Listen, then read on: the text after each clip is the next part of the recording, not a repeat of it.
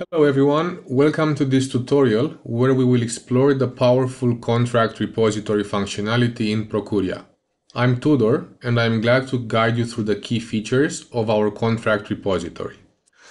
Let's begin by taking a look at the general view of our contract repository. The columns you see here are highly flexible. You can rearrange them, you can hide them, or you can add new ones according to your preferences. Also, you have the option to filter the columns. For instance, I would like to display only the contracts with an active status.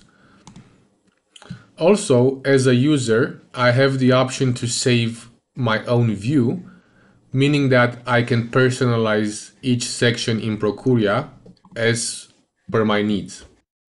New contracts can be added in three different ways. First, through Excel import and here is where you can do that. You have import records option and here you can download the template spreadsheet.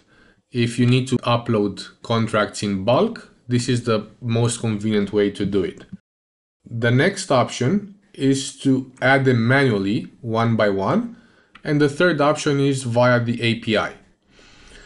Let's choose a contract to further explore. The fields you see here are just an example. With Prokuria, you can add your own terminologies and arrange, fields in different sections as you wish. In this example, we added an additional contracts section to keep track of the latest updates as accurately as possible. What sets Prokuria apart is its utility. Everything is centralized and it comes with an internal messaging functionality where users can tag each other and receive real-time notifications. Let's see how the comments, the internal comment section works.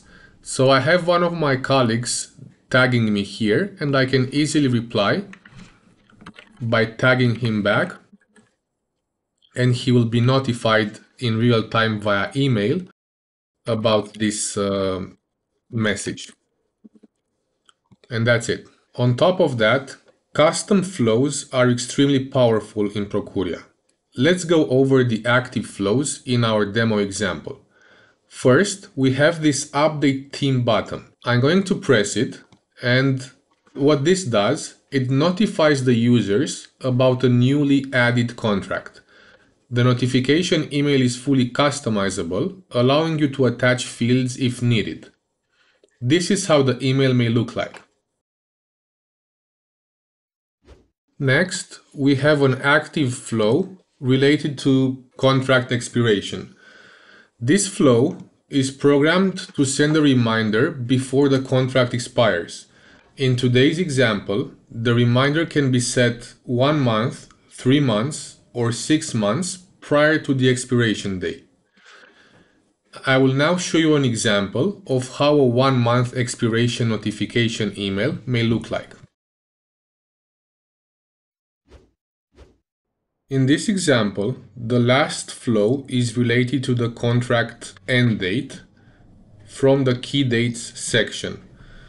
The contract end date is automatically updated based on the additional contracts that have the renewal type. In this case, the lease renewal addendum has been added with a renewal uh, category type and the end date is 31st of December 2023 and as you can see the end date is the same for the main contract. This is a very useful feature because it reduces the chances of uh, errors and the end date can be automatically updated based on the latest contracts that are added in the in the dedicated section. Lastly, Prokuria allows you to share contracts with your suppliers through the supplier portal. It's a transparent and centralized way for them to access important information. This is how the contracts are displayed in the portal.